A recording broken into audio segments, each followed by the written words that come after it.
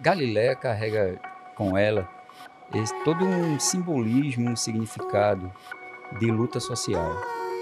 É, na história, nós vemos exemplos de que a, as lutas sociais elas são objetos de mudanças de comportamentos das sociedades.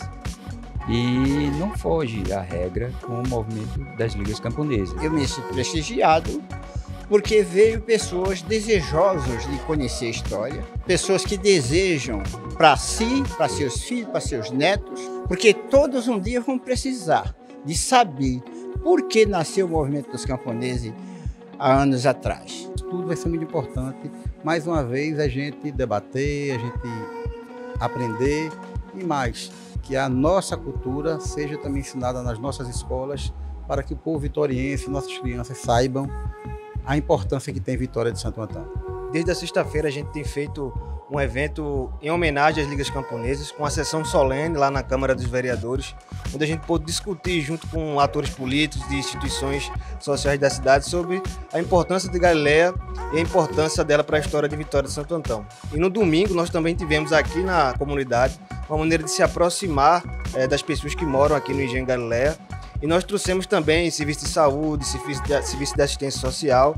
O sentimento é de reconhecimento de um cidadão brasileiro que se inseriu na luta pelas, pelas pelos direitos dos trabalhadores do campo e que dedicou toda a sua vida a essa luta, a essa gente que ele sempre disse amava como se fôssemos todos uma grande família. Esses eventos que vêm acontecendo aqui na cidade, né, eventos voltados para a cultura e para o turismo, né, é, é um marco.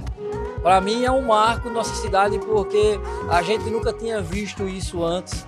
E graças a Deus a gente está dando aí o primeiro passo, né? Os primeiros passos, né? Tão importantes para que Vitória de Santo Antão alavanque de uma vez por todas dentro do turismo pernambucano.